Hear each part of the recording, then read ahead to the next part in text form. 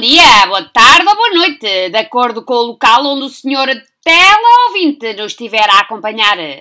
Esperamos que o barricamento esteja a ser do agrado de todos, não esquecendo da importância de um comportamento sério, responsável para dar cabo deste coronavírus.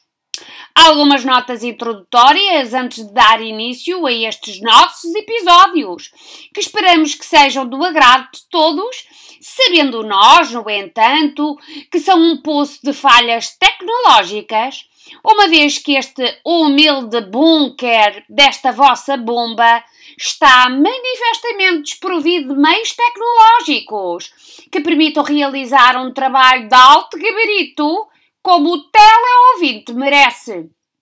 Ainda assim, procuramos fazer face a esta lacuna que os alunos do ensino secundário padecem, a inexistência da sua própria telescola. Ora, perante esta situação verdadeiramente dramática e sem medos, iniciemos então as sessões televisivas de bomba na história. Nesta nossa primeira emissão, iniciaremos o tema o alargamento do conhecimento do mundo. O século XV representou um momento de transição entre as concepções medievais do mundo e a época moderna.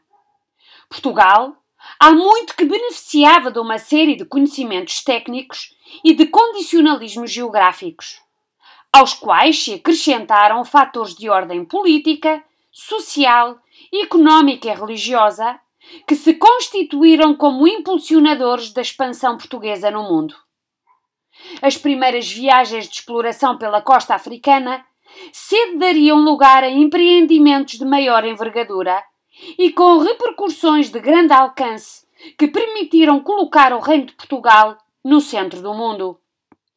Desde a passagem do bujador à descoberta do caminho marítimo para a Índia e do Brasil, um novo mundo se abriu, não só para Portugal, mas também para o resto da Europa. Isto só foi possível devido ao constante aperfeiçoamento técnico dos instrumentos de navegação, à descoberta de novas rotas marítimas que permitiram contornar obstáculos levantados pelos ventos e correntes, à construção de novas embarcações que facilitaram as viagens de exploração e tornaram o comércio mais eficiente e rentável. Este alargamento e expansão do mundo refletiu-se na elaboração de novos mapas, mais rigorosos e consonantes com os conhecimentos geográficos, contribuindo para pôr fim às ideias feitas do imaginário medieval. Permitiu também o surgimento de um novo tipo de saber, assente na observação e na descrição da natureza, com base na experiência. Assistiu-se ainda ao nascimento de uma mentalidade quantitativa que se traduziu na matematização do real. Para além de se ter assistido à alteração da concepção do mundo, o entendimento do universo também se modificou. E o geocentrismo ptolomaico deu lugar à revolução coperniciana. Nesta introdução, gostaríamos de chamar a vossa atenção para este Mapa Mundi de 1265. Durante muito tempo, muitos acreditavam ser a cópia de um outro mapa que decorava os aposentos do rei Henrique III no Palácio de Westminster.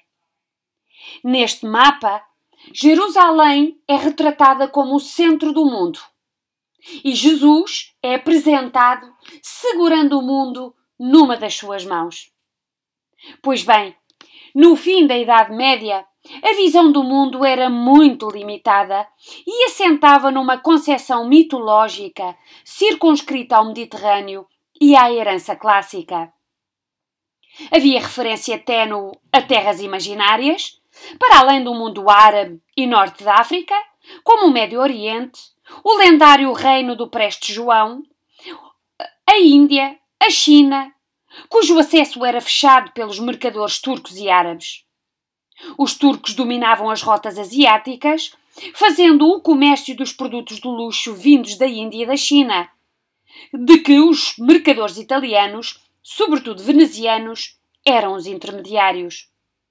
Encontrar uma alternativa a essa rota e a esse domínio do Mediterrâneo era um desafio a que os europeus não conseguiam responder. Na imagem agora apresentada, surge aquele que é o monumento maior aos descobrimentos portugueses. No entanto, gostaríamos de chamar a vossa atenção para o facto deste monumento ser uma construção do século XX. Da autoria do arquiteto Cotinelli Telmo e do escultor Leopoldo da Almeida, o padrão dos descobrimentos foi erguido pela primeira vez em 1940 para integrar a exposição do mundo português, tendo sido construído na altura com materiais perecíveis como o gesso e a estopa. No entanto, em 1960, por ocasião das comemorações dos 500 anos da morte do infante Dom Henrique, o padrão é construído em betão e cantaria de pedra rosal de leiria e as esculturas em cantaria de calcário de Sintra. Falar dos descobrimentos portugueses é falar do resultado de um conjunto de circunstâncias económicas, sociais, políticas, técnicas e religiosas que, associadas entre si, possibilitaram a descoberta de novas terras.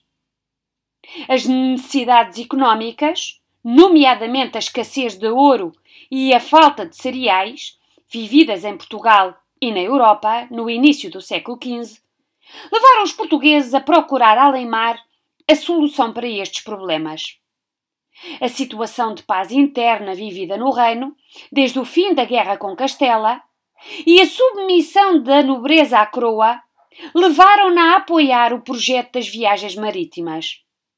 O facto Portugal manter, já desde o século XIV, toda uma tradição de atividade marítima e piscatória, que levava os meios náuticos e mercantis a estabelecer ligações comerciais, sobretudo com o norte da Europa, na região da Flandres, motivaram uma série de inovações técnicas ligadas à arte de navegar.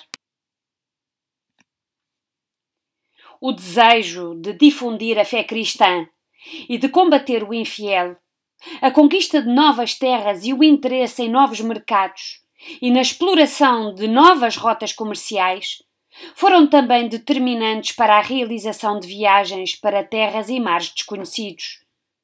Todavia, o papel da coroa foi preponderante em todo este projeto, uma vez que o rei assumiu, como um desígnio nacional, a expansão marítima portuguesa, em torno da qual convergiram ainda que por motivos diferentes, todos os grupos sociais.